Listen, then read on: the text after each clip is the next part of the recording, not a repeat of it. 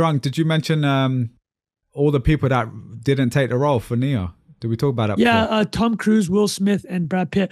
Will Smith wild. is the most interesting one. Will Smith Yeah. went to do Wild Wild West, which you guys may remember. And uh, oh yeah, Tune. What a tune. yeah, banger. That's No, what what- literally in my head. That was banger. Wild, Wild Wild, Wild West, West. You know what's Yeah. Well, crazy? That format for Men in Black too, where like Yeah. the the hit The hit song. song. That We- And that's a good point because really. I forgot that was a very 2000s like thing where you with Will Smith specifically. Miami. Oh no, no, Miami weren't a film. Sorry, my bad. You should have been. But it Bad should have been. Yeah, it could have been Scarface. You know what I mean? Like Bad remake Boys of Scarface. Oh, bad boy. But yeah, Bad boys, bad. Yo, yeah, yeah. you're right. Will Smith. what? Dude, That, he had that down. He's a great I love this man. detour. Incredible. Yeah. The Oh, Men yeah. in Black. Tr- How good was Men in Black? The and the, song. the mu- it was a music video We era too, so you would Men see the Yeah, with the characters, and they had the aliens, and they're doing the dance, and then he's doing his little uh, getting jiggy with it thing. Well, okay, now that we opened the Will Masterclass. Smith bag of worms, let me add two things. Jack, I love how you went down the rabbit hole. Here's a Will Smith uh, uh, uh, nugget. Uh, welcome to another episode of Not Investment Advice. We got the NIA boys here today. Jack Butcher, Trung Phan, Bilal Zaidi. Trung, where the hell are you, mate? You look like you're in the Sahara Desert or something. What, where are you? Arrakis. For God's sake. All right, Tr- Trung's You know got I'm a in. new you know I'm in. Arrakis. And I got a new location today, boys. Don't worry about it. okay, we're not letting people know. Just you got to keep it. No docs in here. No getting doxing on the spice, pod. son. That spice. There we go. Spice. All right. Tr- Jack, what's I going want to on show in you guys what I'm drinking, mate? though. I got a new drink. Oh, I've been hitting the Celsius. What do you guys think about Celsius? Celsius is winding into the Sahara Desert, so I can't really see it because it's. Yeah, uh, there you go. Do you guys ever drink Celsius? What is it like a zero sugar Red Bull? It's or like something? Red Bull, basically. I found it. I mean, Jack would appreciate this. My last trip on Costco, they had that eight, eight, 18 pack like two bucks. You know, There I'm gonna go. get that. No, I've had it before. You it's know, this is a. Red Bull affiliated podcast now, Trung. So Oh, That's true. wait, wait. What Real Jack? talk? Jack did work with him, no? I thought you, Yeah. you already did it. a friend The- of the, the pod. Formula Red One. Bull is a friend of the pod. Friend of the pod, say yeah, yeah, bringing Formula One. Celsius on there again. There we, there we go. Exactly.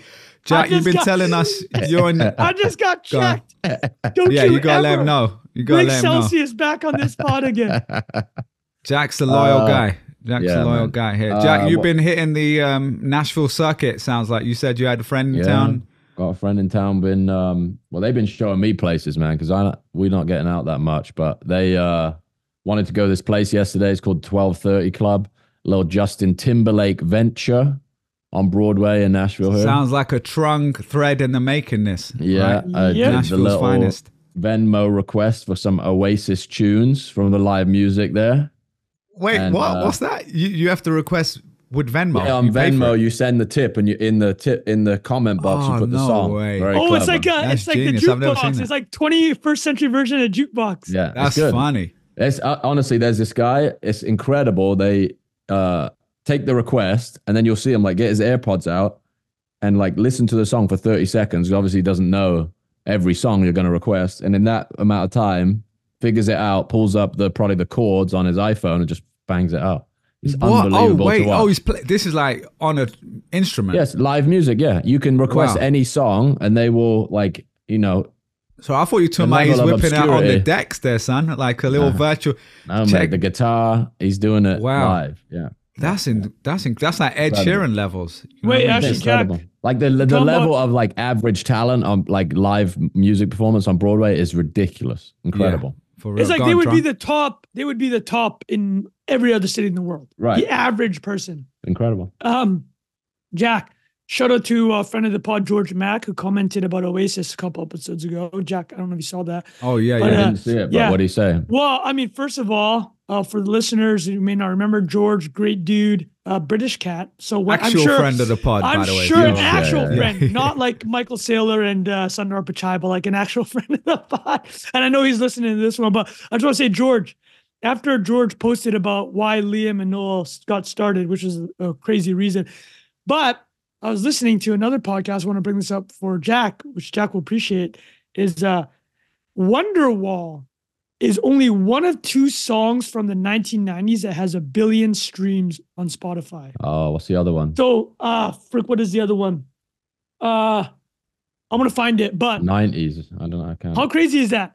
The the whole point and uh, the podcast I listened to was called 60 Songs That uh, Explain the 90s, a great pod from The Ringer. But the whole point the guy was trying to make was like, when Noel Gallagher is coming up, right? It's like in his mind, it's like, I just got to write the greatest song, the greatest album. Man, the guy actually did it. Like 30 years later, one of only two songs that have a billion streams from the 1990s. Like that song still resonates, right? Even though the lyrics make zero sense. Like the lyrics to Wonderwall make no sense. And Noel Gallagher knows that. He doesn't care.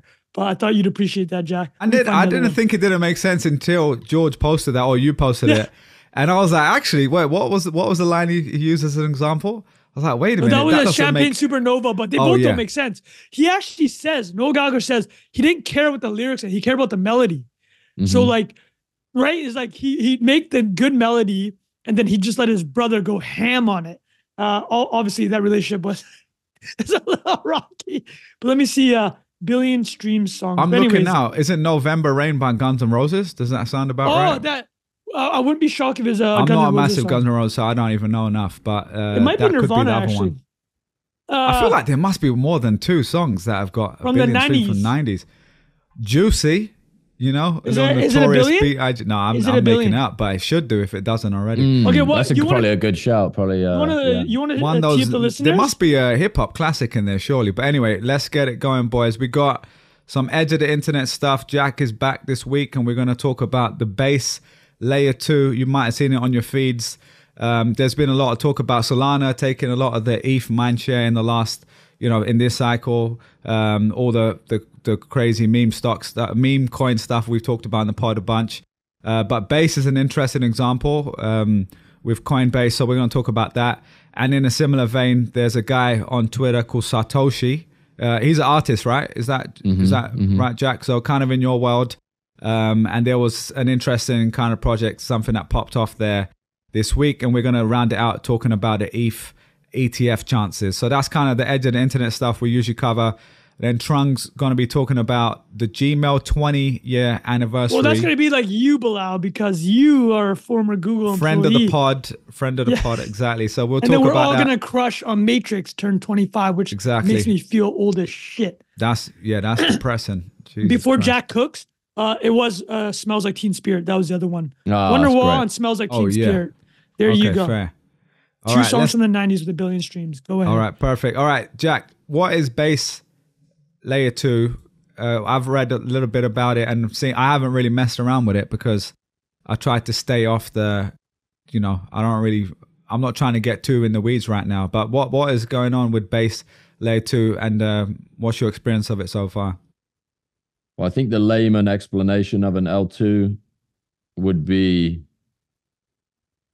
like it's mimicking the infrastructure of Ethereum, but bundling all of the transactions at a different rate in order to save costs, right? So it's like one layer of abstraction out where, and I don't know the specifics on the amount of time that bundling has happened over, but what they're able to do with that infrastructure is reduce the costs of buying a token, minting a token, moving a token. Like the transaction costs have gone from some of the things that would be like deploying a contract on Ethereum L1, depending on the size of it, be 40 bucks, 50 bucks, 100 bucks, 200 bucks, depending on the congestion of the network.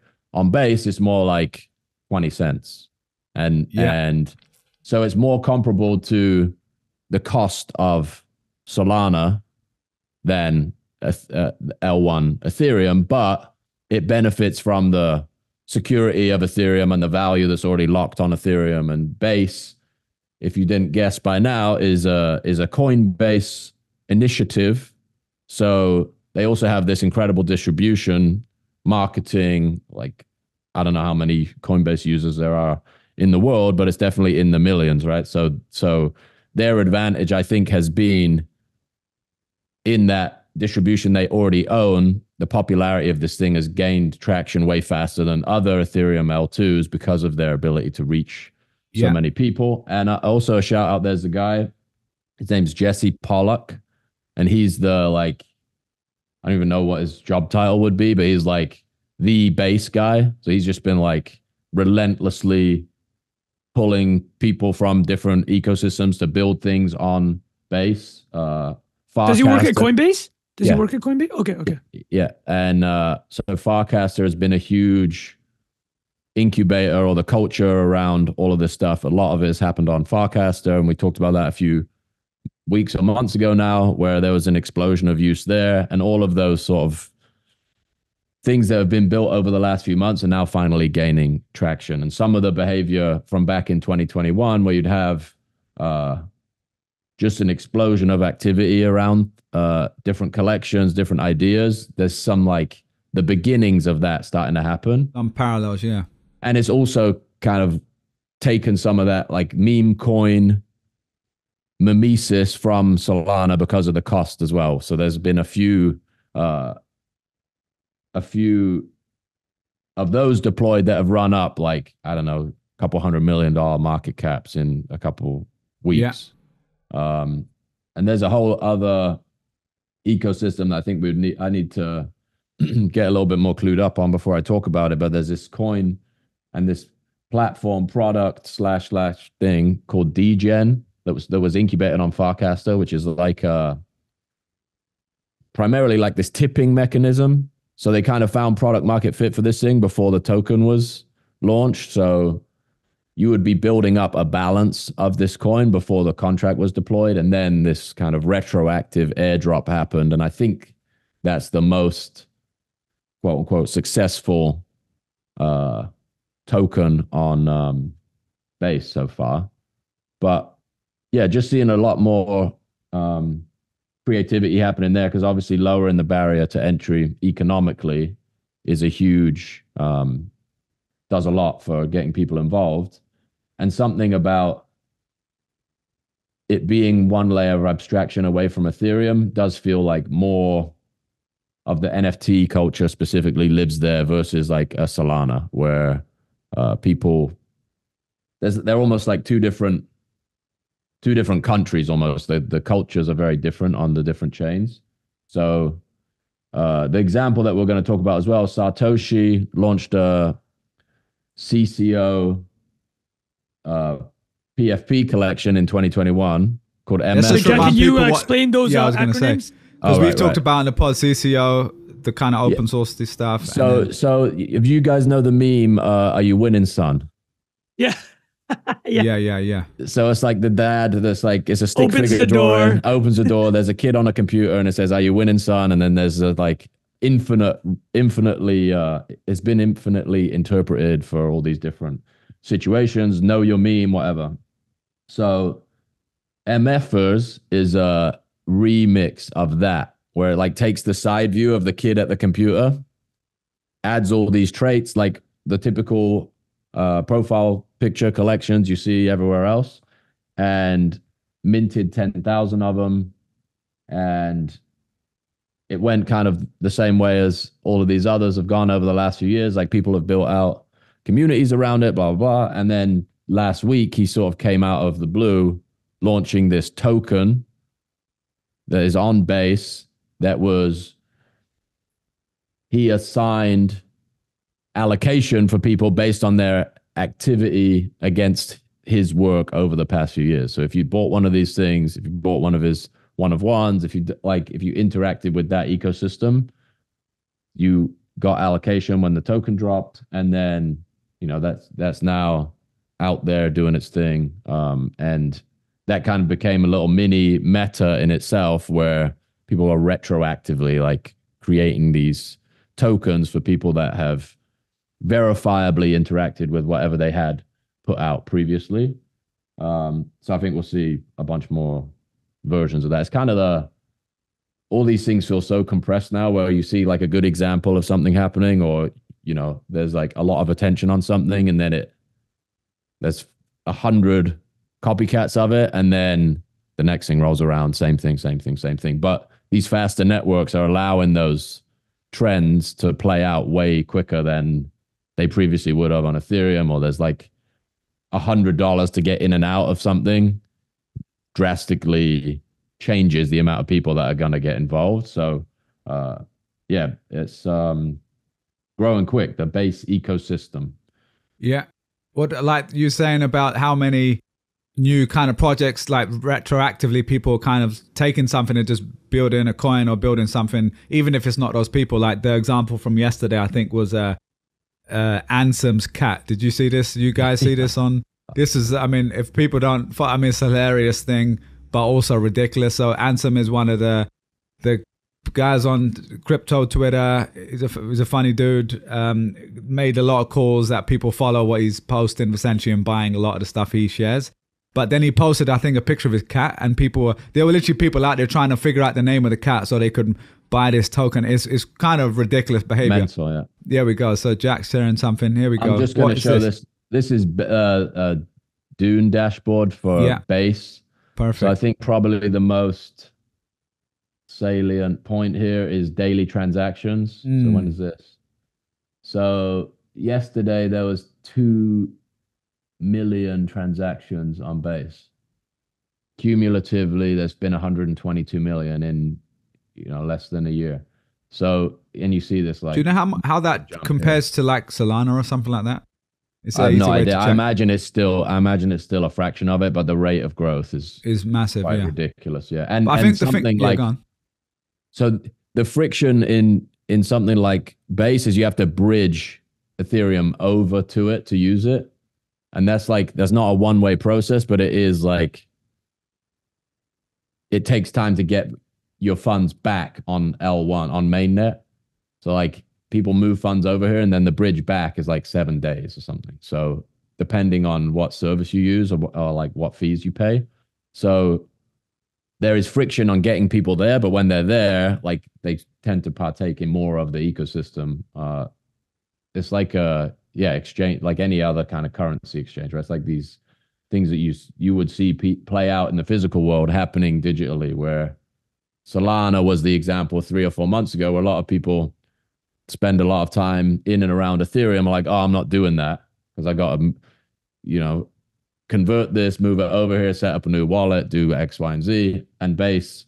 Uh, outside of that bridging transaction, all of the infrastructure is the same. MetaMask, blah blah blah. Everybody's familiar with. Well, everybody yeah. that's been spending time on Ethereum is familiar with how it works. Yeah. So uh, yeah, just um, yeah, loads loads happening there.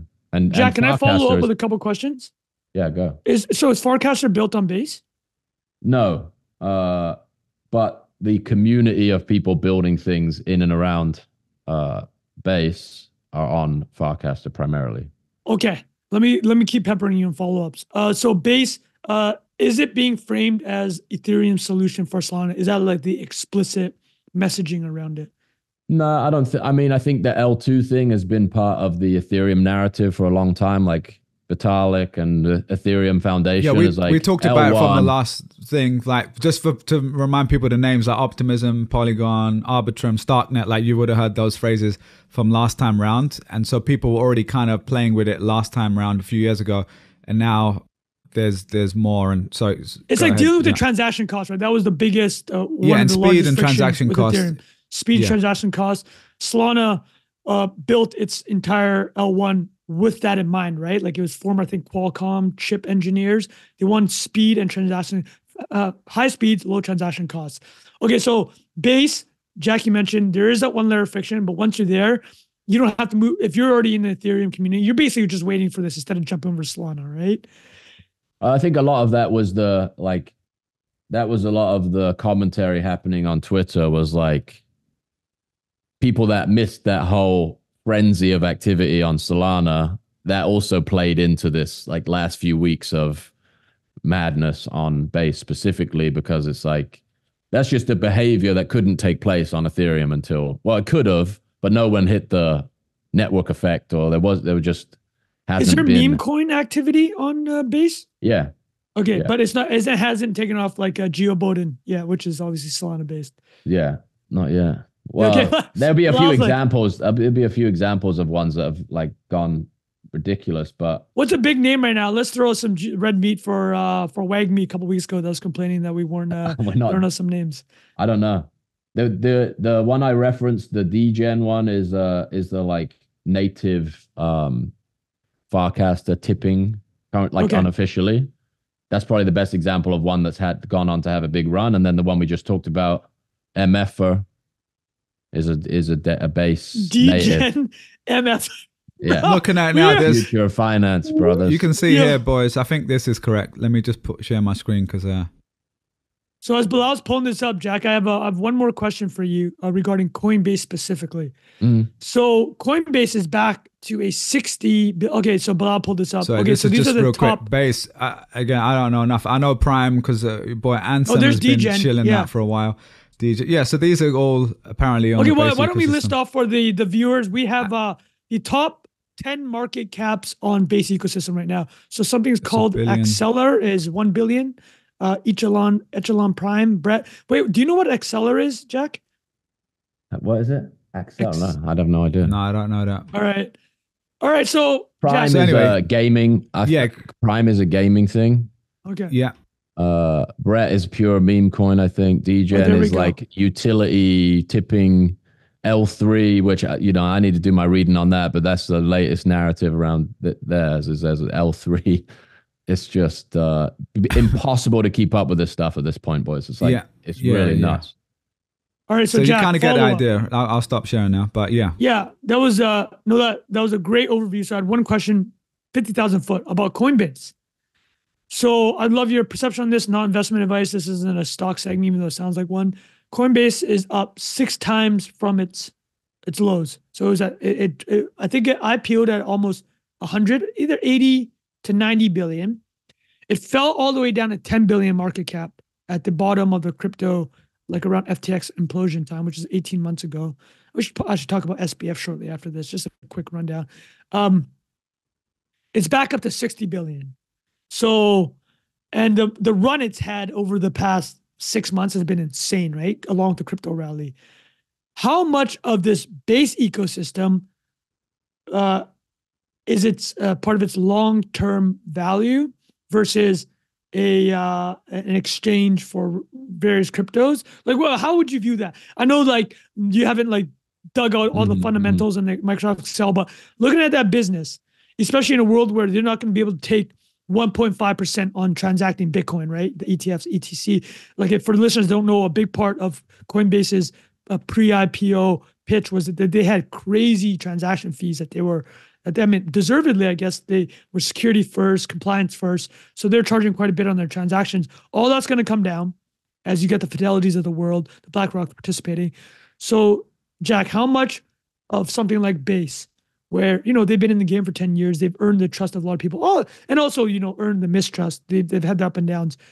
So, very specific question: How do you see Base playing into their value in the long term? Is it a big part or just an experimental thing? I think so. I, th- I mean, I think their long-term ambition and their re- and the things that have happened recently are like Coinbase as a custodian between a custodian or a like platform between institution and crypto in general. And I think Base, my understanding of the ambition there is for that to be that infrastructure that, you know, brand X tokenizing something in the same way that they are running or custod like uh, custodying funds for 85% of the ETFs, 90% of the ETFs.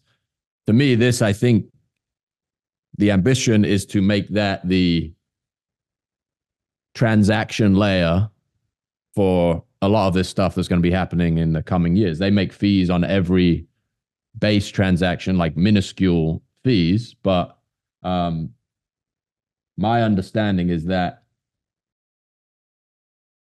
handling all of the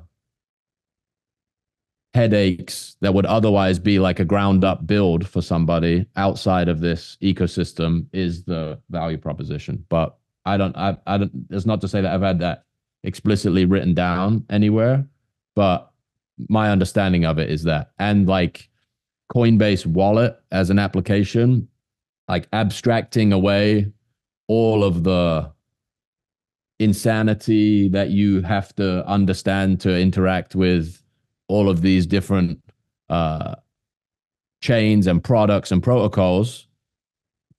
Another thing I would probably describe their ambition as is to get to like being the front end for crypto multi chain and base likely acts as the um the settlement layer for all of those things, right? Like that's the the uh the product on Coinbase's side that allows for all this interactivity to happen.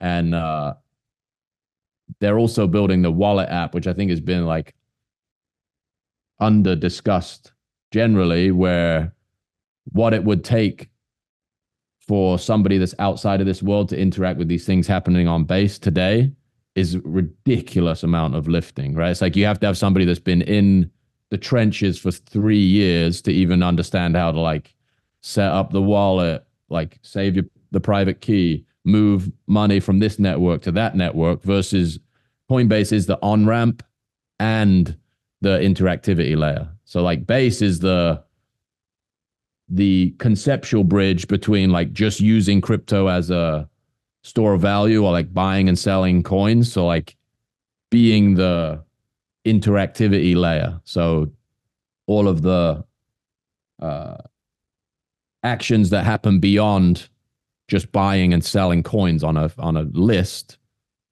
Coinbase wallet and base, I think the ambition is to get to to be that one click or simplified way to interact with all of these products and protocols. That's actually quite bullish to be honest, because bullish in this sense, again, not investment advice, but if you actually looked at them a year ago, because we saw these ETFs coming online and everybody else entering the space, it's like if, if Fidelity or BlackRock, they're not making a base, right? I think that I, I didn't realize I had not been following this at all, even though uh, I actually uh, have a Coinbase position when I was just throwing shit oh, at man, everything I, two years yeah, ago. I guess. I yeah. didn't even I didn't even realize uh I, dude, until literally 30 minutes ago, I had no idea about base. And but it, it makes me uh more likely to hold on to my Coinbase actually. Was because mean, it makes sense. They're they're just an unbelievable they're doing an unbelievable service for the crypto industry at large too with what they're like doing in court and like trying to push for the legitimization and clarity around this stuff. Uh, it's they have an unbelievably good reputation in the like native crypto world too. Um, yeah, so it's it feels like the ETF thing too is just like such a massive watershed moment in even securing the long term value of something like Coinbase, you would imagine you're responsible for, or you've been audited to the extent that you can custody hundreds of billions of dollars of Bitcoin for these the trillion dollar know, firms. They are, uh, yeah, they are the custody of choice for, for basically every single ETF, uh, Bitcoin much. ETFs. The Fidelity does its own because uh, Fidelity is a monster, right? Fidelity is like, I think Black hundred billion dollar private right? company. Yeah. Um, Dude, that's awesome. That is a that is a solid segment. I was unaware of that, man. That's uh well, should we would that be actually a good transition to SBF? Uh, we don't have to go yeah, deep and on also it. the, the ETF we were going to talk about really quickly as well because that's kind of related. So let, let's come back to to SBF. But uh, we talked about it briefly, like maybe a month ago. So where do you guys feel we are with this kind of Ethereum ETF situation? Because I know you know, a few months ago we had the Bitcoin ETF approval. That has obviously been very positive for the whole ecosystem. We've seen, I think, like eleven billion dollars of inflows, maybe more. I, am I'm forgetting numbers off the top of my lot, head. Yeah. Um, significant, and obviously anyone who's buying an ET, buying the ETF in their BlackRock account or whatever, that then means they have to go and buy the actual Bitcoin and hold it.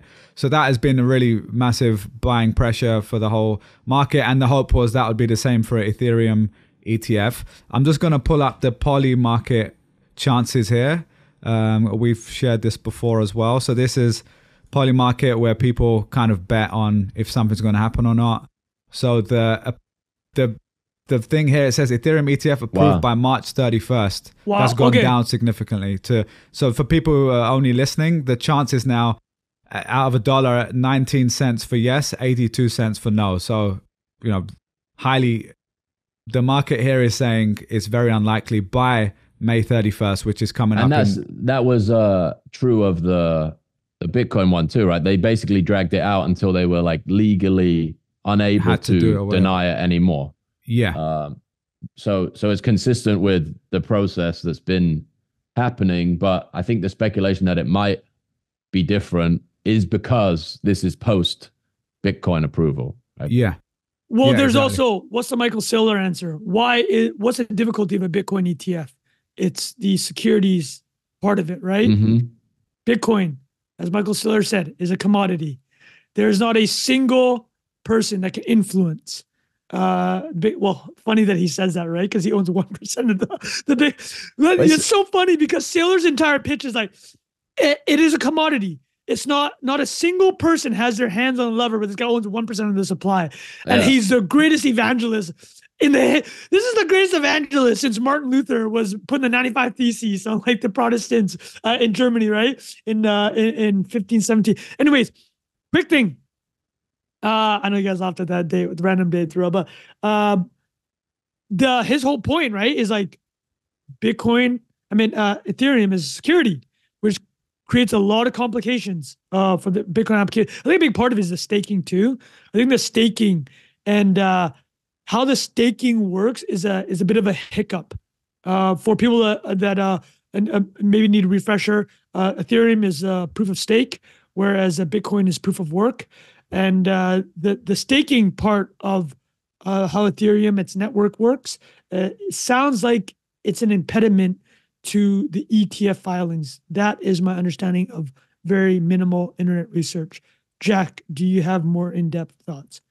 You know what the um, best take I've seen on this is uh, you know Brian Quintenz is? Not familiar.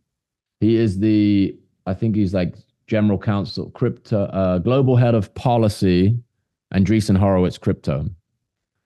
So let me read Okay. you a little uh Hit let her. me Yeah, I think I've little seen some of thread. this stuff. Yeah, go on. When the SEC allowed Ethereum future ETFs to trade on its regulated security exchanges, it explicitly acknowledged the status of the underlying ETH as being a non security and outside of its jurisdiction. Importantly, this ETF approval decision in October 2023 occurred well after Ethereum changed to proof of stake in September of 2022, meaning that to the SEC, if ETH in its present state as of October 2023 was not a security.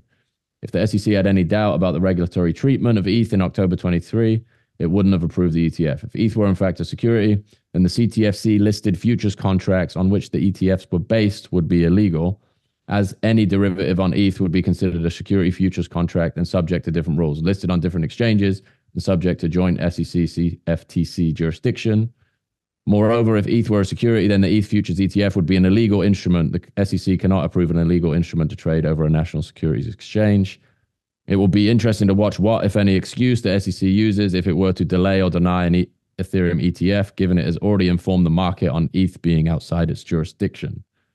The SEC's conduct in refusing to acknowledge these facts is causing confusion and actively harming the public, aka That's- Trung Phan's portfolio. Oh man, that is So we'll see. okay. So Well, Very Another sharp thing- writing. Yeah, Yeah, very good. I, very I, sharp. I, I'll add one more kind of thing to the mix here. Is our boy Larry Th- Larry Fink and also BlackRock. Big Banks their, Fink? their approval rate for ETFs. Uh, they have a 576 to one rejection approval was the rate rejection? ratio.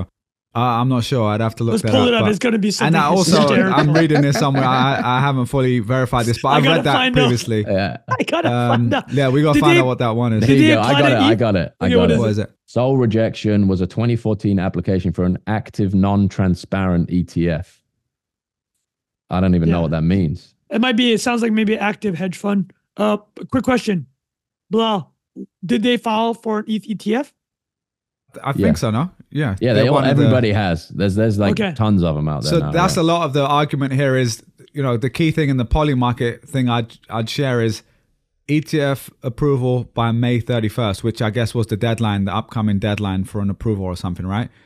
There, there used to be another market, maybe it was another website for by end of the year, and the percentage chance was way higher as voted by the market in this prediction market. It was like closer to 60, 70% or something like that. So my personal opinion, obviously, it's just my opinion. I don't know what I'm talking about. Is eventually there will probably be an approval, but it probably very likely won't be in this May 31st. Maybe not even by the end of the year. It might get dragged out a little bit. I'm not sure. But personally, you know, if you you got to look at the incentives to all the people involved, and BlackRock aren't like messing around with this sort of stuff, right? They've seen No. how much is coming in from this one side.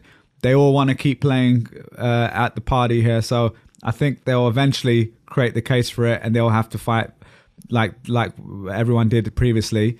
Um, now, the other question I'd have though is in that time, that we've talked about today Solana, you know, the base uh, layer twos, all that sort of stuff. Now, base is on Ethereum, right? So that's still bullish for Ethereum in its own way as an ecosystem.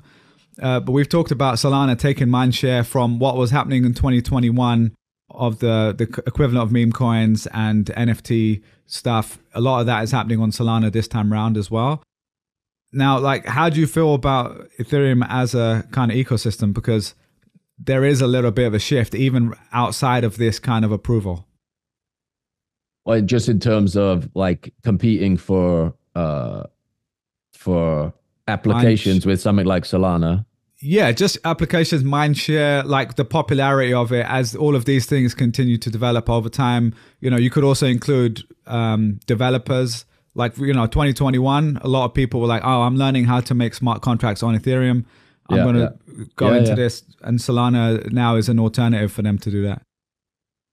I was I should preface it with like I've only played around with Solana and been like in that world for probably six months and just learning uh about the differences. But my model for it, I think, is like Ethereum's just like further up the adoption curve where you have like institutional discussions happening and BlackRock applying for Governments. ETFs and governments thinking about using like I think like French government deployed a a, a digital currency on Ethereum. So it's like that to me is like part of the mind share, at least of the part of the culture that we pay attention to, shifting to the new thing where it's more exciting and faster, and there are like more novel applications being developed on it as a function of it being fresh out the gate, faster. Like you're not competing with like big behemoth established like Coinbase is building products on Ethereum, you know, versus there are obviously like massive legitimate businesses building on Solana, but it's not a 10 year old product that has the like mind share that has evolved to start to develop products that are designed to be here for a very, very, very long time. Right? I think Ethereum is is probably past that Yeah. threshold, whether or not the More history. SEC or the US government is like on the same timeline as that. It feels like the applications that are being built there are uh I wouldn't even say more ambitious, but more mature, maybe is the Yeah, that's a good way to word put for it. Yeah. So and, Mature and or Solana will follow that. Yeah. But And Solana, there'll be a you know Larry Fink's going to be shilling a Solana ETF in a few years. Don't worry about yeah, that. yeah, yeah, yeah, yeah, and, and like that's a great way to put it. And also for now, 2024, Joe Biden or Jeo Boden is being built on Solana, right? Do you know what I mean? Exactly So right, That's it. So, so I think there's a there's a space for Bro, both of them. Yeah. The, Oh, the meme Biden is one gets me every time. I It- know, oh, the- bro. every single time. It's For the so good. listeners, uh, Bilal sent a hysterical message. He's like, I can't sell the Boden until the election. Not investment advice. I mean, hundred percent. Just for like, you know how I partaked in all the stupid stuff last time with um, what was the Constitution DAO? Remember that? Yeah, yeah, Just I course. wanted to like, have it on the chain, be there, so I remember later, like, oh, that was when we were messing around doing ridiculous stuff there. So you got to be in the or Boden game, not no investment advice. But anyway, so uh, It's research. very well put, Jack, as well. And uh, I, I'm also interested. Just your opinion is interesting because you've built a lot of stuff, right? Like it's not like you're just a speculator here, like you are as well, like all of us. But also, you're you were in the last few years one of the top NFT artists in the world on using Ethereum as well. So I think that's valid opinion to to get your take there. Um, anything else on that Trung as well before we move on, mate? You you had the SBF thing you wanted to talk about as well. Yeah, and I, I- do you guys have any questions about any thoughts on the SBF stuff? So let's summarize what, What he got stuff? sentenced 25 years, was it? Mm. Is that what you're saying, Trung? Yeah, He got 25 sentenced years. 25 years. yeah. Yeah, I don't know enough about legal precedent to know like is that a lot or not. But um Yeah, I, I don't know. I, I think it was about it. Board who who tweeted, uh, "It's a it's one day for every million and a half dollars appropriated." Wow, that's So- wild. That's that's that for for perspective. That is quite an interesting. Oh, he's shilling Boden tokens to uh, inmates there. I, I, no, all jokes aside, someone did. I think um, is it the was it autism? Was it like the the, the news source on Twitter? What, what's the name of the account I'm talking about? Oh, uh, Autism. Autism, autism capital. Yeah, Yeah, yeah, yeah. Autism Capital was saying that uh, he, apparently he's been shilling Solana to inmates and uh, security guards. I mean, this guy's pitching everywhere he goes, so uh, it wouldn't surprise me if that's the case. What Well, about let me you, ask you Trung? guys: What did you, you, think? guys have any? Uh, I mean, Well, I think the stuff But- came out in the stuff like there were materials that came out that were obviously the financial fraud was a legitimate accusation, right? It wasn't just mismanagement. There was like deliberate uh, deception, and then even the like altruism, the effective altruism, the way the stuff was pitched, like there is like documentation explicitly stating that this is bullshit. Like this Yeah, is not what was- I believe, but we are going to say it to mislead this person. I'm going to use it right. to my advantage. Yeah, So completely. uh, yeah, I mean, I don't even know how you begin to like try and translate that into how much time somebody should be incarcerated, but by every account, it was like a massive amount of fraud. Massive going on. fraud. Yeah. Trung, he what was about also you? extreme. Yeah, I'd, I'd add like very unapologetic uh, afterwards. Like even um up to like his. I don't know if you guys saw the letter his parents wrote. Like uh they're basically a mouthpiece for him at this point, right? And the letter was basically saying, you know, he got railroaded. Uh, I think that one of the guys that flipped on him, they try to make him look particularly bad, which fair enough, right? Like the way the U.S. justice system is is uh is designed is in these type of cases, like you want people to flip, right? Like not necessarily that they'll lie, but they're heavily. I mean, it's the whole incentive thing. Like these people will say and frame whatever it is to make SBF look as bad as possible. And granted, I mean, like Jack said, these crimes were very explicit, right? The question I had is, you know, the the running joke kind of in the past year was like, if he had just kept this scam going, like this fraud going, like it would have been fine. It would he could have he could have It not just it would have been fine worse legally. though. In the, it just would have been worse in the end though. You know, No, but that's that's the point, right? The counter is this: is like people are like the expectation for people that say that or joke about that is that SBS behavior would have been like, you know, he would have. uh Oh, like, he's going to ch- completely change uh, when he's in the green. Like, Oh yeah, what, but exactly right.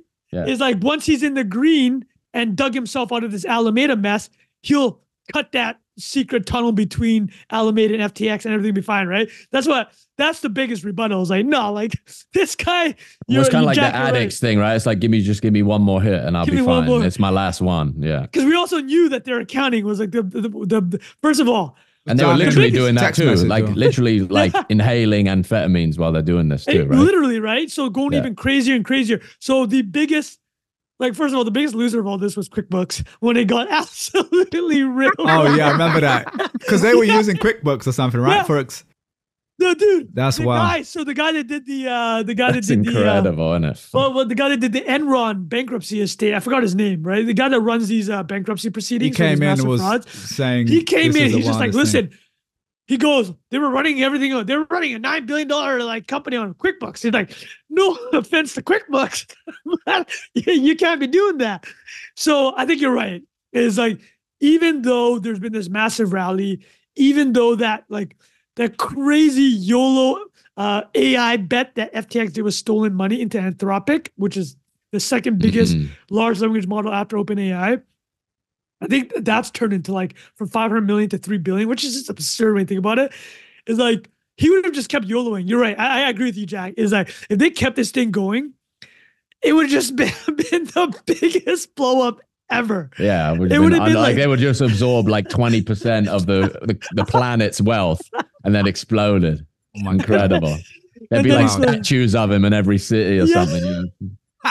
Unbelievable how like how fast. Could you remember like hands up? We had uh We oh, had Brett Brett- Harrison. oh, yeah, uh, we had the president of the US. Full this is the capital efficient business. Like you've only got this many employees. It's fu- And we it were like, oh wow, they're so. We're like, oh, that's amazing. It's like maybe they should have had a few a- accountants, you know, or a couple people. Uh, the expense manager. Then maybe that's any a role was needed. This is not investment advice. Go back and watch that episode. Yeah. Yeah, and oh my! well, No, I mean, like, yeah, Oh. for people who didn't follow then, um, you know, he was the darling of the industry of, he was on front Oh, cover dude. of magazines. We all laughed at his shoelace meme. Right. You know, we're like, oh, what a likable guy. He doesn't even tie shoelace. You know, it's like, okay. So that, I will say, though, there will be another SBF, right? And Oh, not just in crypto, but in, in everything, definitely in crypto, because, you know, there's a Wild West out there right now. But I just um, want to say though, yeah. for the record, the guy that asked about the shoelaces was me on that podcast. Uh, so uh, Bilal just threw me under the bus. I mean, it was a great, it was a great meme, man. It's an all-star meme that one, especially now. Um, all right, boys, great edge of the internet chat. Hope you guys enjoyed that. Let's talk about Gmail. Unless you had anything else on that, boys. Let's move on to Gmail. Yeah. Yeah, let's. Oh no, no, no. Trung. Uh, Oh, SB, go on. yeah, you're right. You're right. You're right. Let's do Gmail. Yeah. All right. Go on, uh, Trung. You you shared something about this. Let me pull it up here. Um, so apparently Gmail is 20 years old. That how old does that make you feel? Because I remember. Do you remember when it came out? Like everyone was trying to get an account. You had to be on the invite. You had, you had to be on the wait list or whatever. Um, let me just pull up your tweet here on this. Oh, I'll just read it out here. Google launched Gmail 20 years ago on April Fool's Day with this press release. Many thought it was a joke because it offered one gigabyte of free storage, 100 times X more than competitors. It ruined April Fools for me because Gmail now has 1.2 users, 1.2 billion users, and I have to take any of the ridiculous product launches today semi seriously. So, I mean, it is a bit of a throwback, right? Because now we're all used to getting basically unlimited, you know, storage space pretty much. Like a gigabyte of storage of emails is already massive, or nowadays you get like a terabyte and stuff like that. Um, so, like, what what did you want to talk about here? Just in terms of No, I just want to talk about outlook of it? Gmail. We should talk Yeah, about go on. Gmail. It's such an interesting product, right? Yeah, It's like we we often like to talk about uh uh Bilal obviously worked at Google and this is one of their uh, products that has eight, uh, a billion users. But the interesting thing about a couple of in- interesting things about the Gmail story. So do you guys actually remember? I mean, Bilal, you mentioned is like when you first got that first gig because I used to use Hotmail, right? What was it? What was the first email Oh, you guys yeah. used? I I used Hotmail. I used I Yahoo. used Hotmail. There was AOL probably back in the day. There was a few, but I think Hotmail was the one I used, like MSN Messenger. You know, when you uh coming back from school trying to learn how Do to you talk to the opposite sex. you Story. know? You know, Do you- you remember storage, bro? It is insane. Oh wow, Back yeah, in the day, is like and the spam. you'd, you'd have to come home and delete everything, right? Just because you, you had so little storage. But uh, that was one thing. The other thing I want to say about uh, Google, and actually, you read this, um, you read this uh, press release, right? So it was released 20 years ago on April Fools, and obviously Google had this goofy identity, which is what kind of made like this remembrance interesting. This is back when Google was like super cutting edge, super fun, like pre Gemini mistake, super woke, right? And like super corporate. I mean, don't get me wrong, they were still like a $50 billion company at that time, back in 2004. I think it was right pre IPO. But the interesting thing about this press release, there's a couple things I'll point out. First of all, if you read it, it's hysterical. It actually reads like a shit post. So, like, here's what I'll, I'll read you one segment of it. Larry Page added, Gmail solves all my communication needs. It's fast and easy and has all the storage I need. And I can use it from anywhere. I love it with an exclamation. So you read it, you're like, this is a shit post. It's like, no, this is like such a one of their fake jokes. Because obviously with Google, their thing on April Fools is they always did, there's all some joke that came out of the company, right? And uh, but this came out of this was actually probably one of the most famous posts that came out of that 20% time. I don't know if you guys remember. yeah, I was about to ask that. Uh, mention So, that. Yeah. can you explain what 20% time is and what are the most famous things that came out of it? Yeah, so the there was this thing called twenty percent projects, and so the idea was kind of like a philosophy of you should always be experimenting and taking essentially twenty percent is a day a week, right? So it's one fifth. So um, originally started from my understanding on the engineering side. So you're an engineer working on your main job, and then you would a day a week. The idea is you could experiment, create new projects, uh, new products, uh, create a beta, launch it, and that, that was throughout the whole company. Even when I was there, 2010, th- like I had 20% projects throughout the whole time I was there, pretty much. And it, it was, you know, the, it's really a side project, right? Because it becomes 120% project. You still got to do your job, and then you do extra work most of the time. But I do think I had not, I remember seeing lots of things come out of it. Um, now the thing on Gmail is apparently it's disputed if it was 20%. I'm reading it here. Paul Okay. Buchheit, who's apparently the creator, disputed that it was. But who who cares? Whatever. AdSense uh, came out that. Apparently Chrome as well. But who knows? I mean, a lot of this is also marketing too, right? Because there is like a 20% experiment outside of your core job that is just an idea, then gets pitched as something that you should work on for a little bit. At some point, it becomes someone's full time job. So either way, I definitely experienced it, and for me, honestly, it's probably the most interesting things I did in my job. Um, probably came in 20% time because it was you need to do your, your main job and then 20% like I, i'll tell you a fun one my friend did one where do you remember the south africa world cup Yeah. uh, 2010. 2010 i think right Yeah. um, his name's Stanley, and he basically pitched this idea of doing this YouTube thing with a guy called Edgar Davids, who's a you know famous All Star I remember Edgar Davids. Yep. And um, long story short, he ended up making it happen. And he was just like an account manager in Dublin, Google, right? And he ended up traveling from Europe all the way through Europe to Africa with Edgar Davids. And they did this street football thing. And it basically was a 20% project. And that was stuff that had happened even on the business side where I was on. So, really exciting. It made it really exciting because you could actually kind of use that time to do exciting work and you could you know end up working with other teams. I ended up joining other teams based on um, you know some of that twenty percent time. I got promoted because of it, stuff like that. So because a lot of the time you're trying to, you know, in any company you're trying to show I'm really good at my core job, but here's all these other things I've done, and twenty percent time was a perfect um, avenue for that. Wait, Bilal, can you clarify that? You said you have to do your own job. So what does that mean? Is like you basically Yeah. rush to do all your work within four not days. rush. So It's more no. I mean, it's not really. uh, I mean, maybe sometimes you officially sign off that this is a twenty percent time, but what I'm saying is, for my job anyway, my responsibilities didn't really change. It's not like they said on on like you for my work it was i need to respond to people still. I need to do x number of meetings. I need to grow my portfolio of google's business by x percentage every quarter or every year. So that the target didn't say oh because you're doing 20% your target went down 25% or something like that or 20% sorry.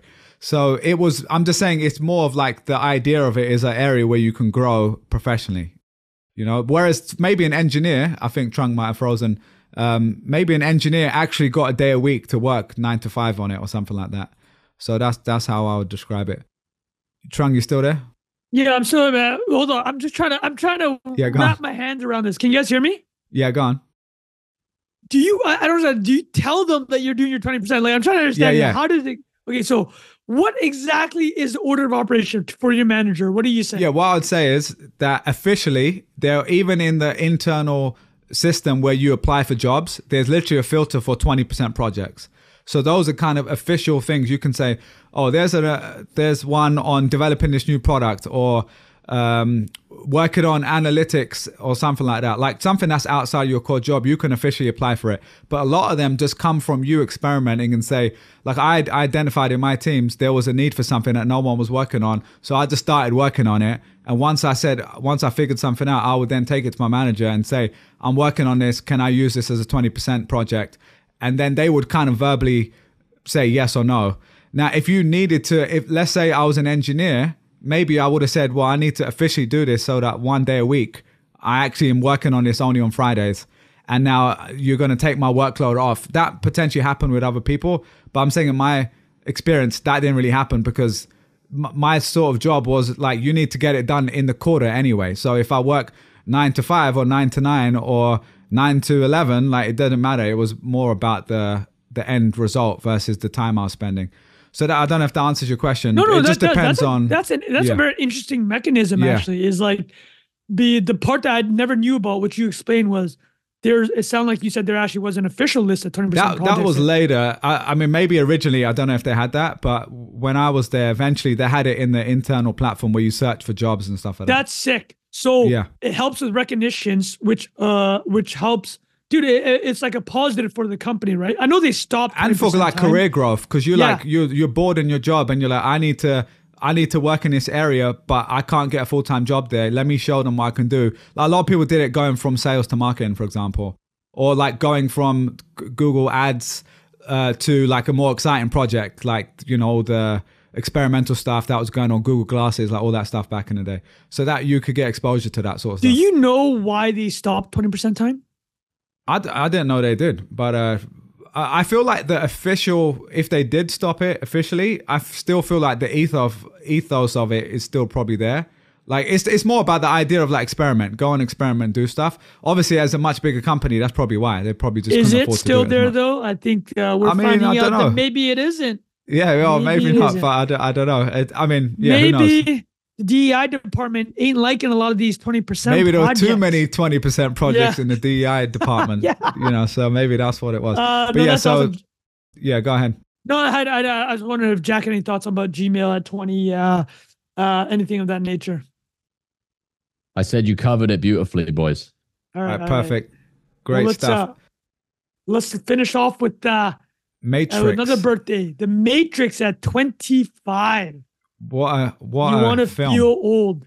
What a freaking blizzard. Do you guys watch it doesn't, theaters? doesn't Matrix to me feels older than Gmail being 20 years. Gmail feels younger. Like obviously it's five Yeah. year difference, but it feels like 10, 15 years old. Whereas Matrix feels like, I mean, that feels ancient to me. It's like DVD you- era.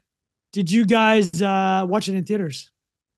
I don't think so. I think I was Was probably too young. Yeah. Yeah, yeah, yeah, yeah. Oh, was you're probably right. too young. That was a rated R. Yeah. I actually did watch it in theaters. I, uh, had a Pliant theater, but I do remember watching it and stepping on and being like, "Ooh, this movie's different." You have to think about action movies before the Matrix, right? Before that bullet time, like Arnold, Bruce Willis style, right? Matrix just like it was just the rawest, craziest sci-fi stuff going on. And think about, I think why we still maybe feel super old, or if you think about it, is how many themes of that movie is still relevant today, and how many. I mean, we love talking about memes here. The meme of the Matrix has, it has stuck, right? Like we, as we've got more digital, like it's even in living- language, like use it. Well, we Red we pill, talked about blue Andrew. Yeah, uh, Andrew Tate Andrew blew Tate, up yeah. on the internet. Was talking about escaping the Matrix. Obviously, people before that as well. But it's a yeah, it was a it was an incredible beyond just the action stuff, which was obviously game changing. Just that it was had so many layers to it as well. You know, like it was such an incredible film, man. One of a kind. The uh, so I will say like I'll I'll walk through a couple. We've talked about it. Red pill, blue pill, still very prominent. The Matrix, which uh, Cobra Tate still talks about.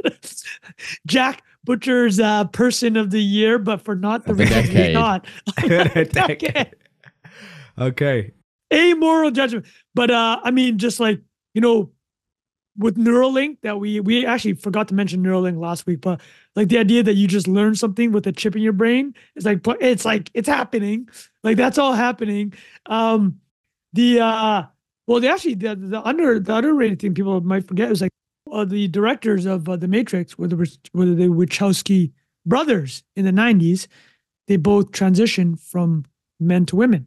Are they So- sisters? Yeah, the the, the Wachowski, well, the people call them the Wachowski siblings now. And uh, what people don't realize is that movie had a lot of trans themes way before the mainstream. So everything they did was just ahead of their time. So do you guys know why? You know what a red pill is? The most popular estrogen drug in the 1990s was called Premarin. It came in a red pill. Wow. And yeah, crazy hormone therapy. Um, dead naming, you know, when uh, uh, it's a big controversy when somebody changes their name in a transition. If you call them by their old name, that's called dead naming. Uh, that's what Agent Smith does in The Matrix. He doesn't call Neo Neo, he calls him Mr. Anderson. Um, Mm. and so a lot of these themes were crazy. They cooked them in the film. But uh, so quick detour. How great of a villain is Agent Smith?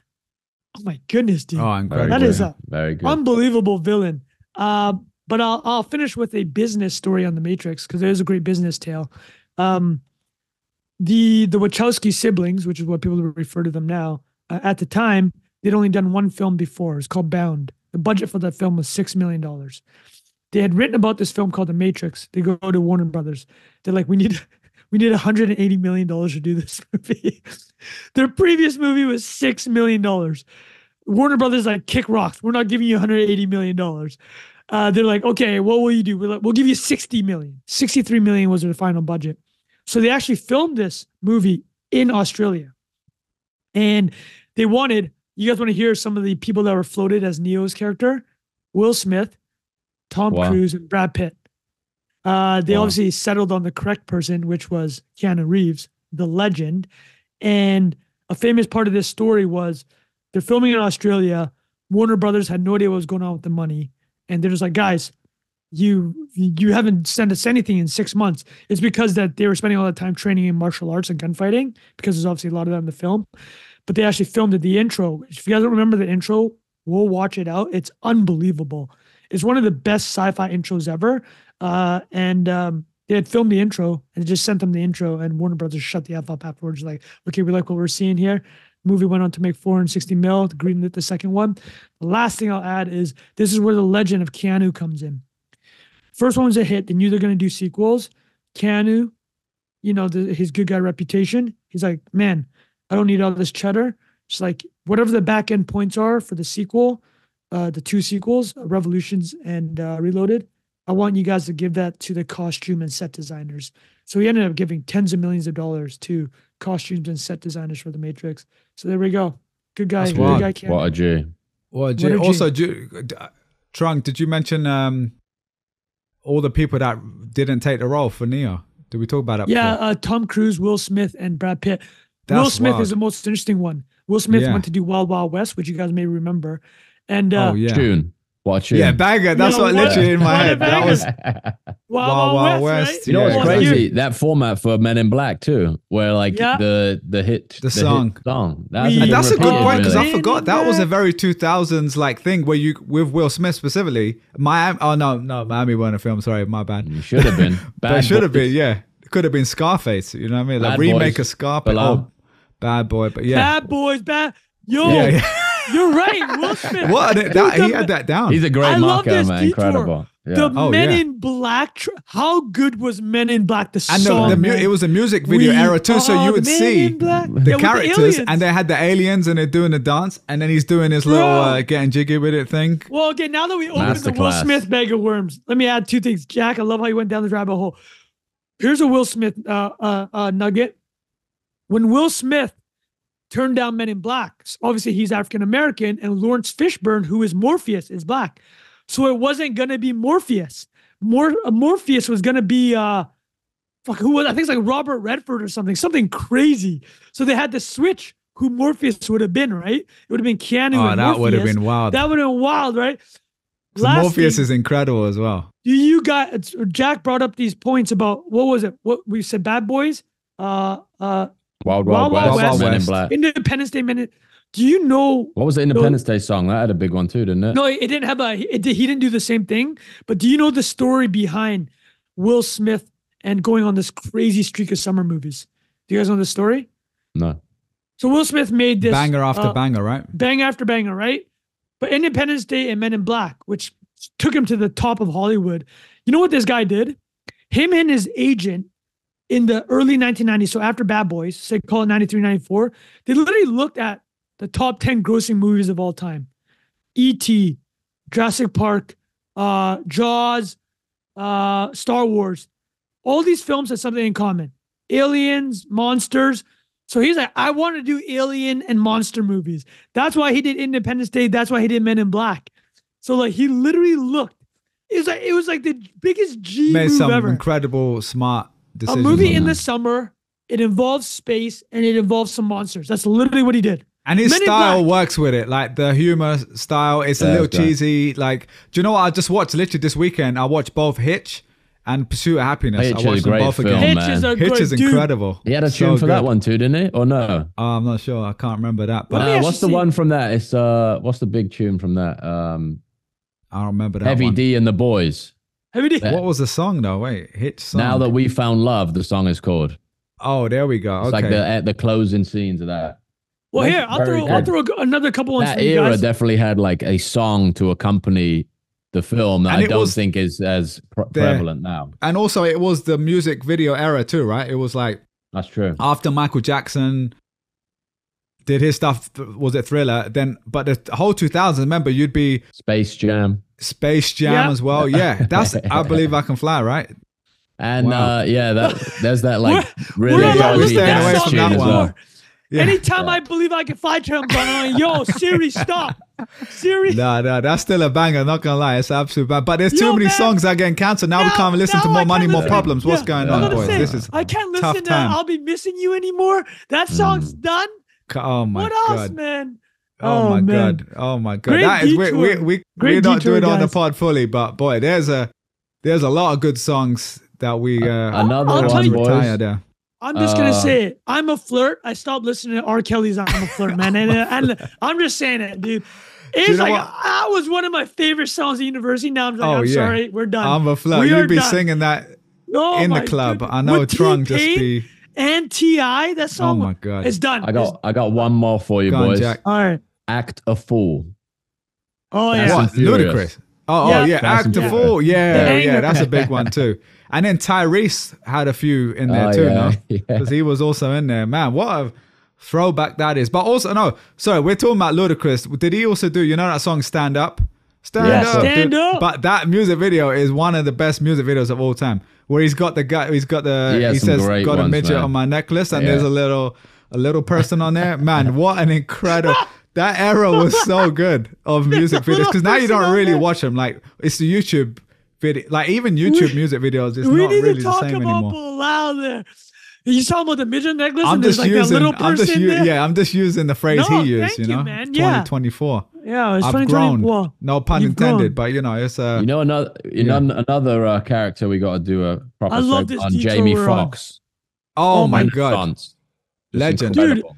just the, the amount of of, the most talented maybe the best stand-up stand-up comedy singer. music best act one of best actor uh, for uh ray charles the ray charles film and obviously t- dude he Stand have you seen yeah, do you remember so his good. old stand-ups this mf so is so good. funny my my favorite. Have you seen the video of him where they're hosting a, a The roast? roast. Yeah, I've seen and that. then yeah. he's basically doing a voice in him, someone's yeah. head, just killing the other person. If if you're listening to this right now, we're at the end go of the show anyway. watch the Shaquille Go watch that. O'Neal. Go watch the Shaquille O'Neal roast. Uh, So good. Jamie Foxx murders. He absolutely Some guy that I forgot. murders, That dude. guy is like never coming back from that because Yeah. it was so good. It was him. the momentum. Like if you want to study like humor and momentum, like just momentum in general, but like the humor specifically, that is the best. Like we've all been in a party with the boys.